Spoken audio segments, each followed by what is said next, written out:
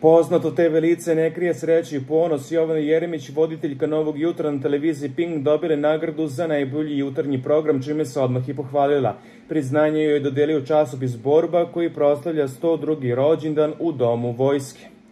Nakon što je primila nagradu, dok je pored nje bio njen izabranik, ona se oglasila. Objavila je fotografiju nagrada, ali svoje odane kombinacije objavi se obratila direktno Milici i Željku Mitroviću. U životu sam izabrala da stvari radim jer verujem u njih.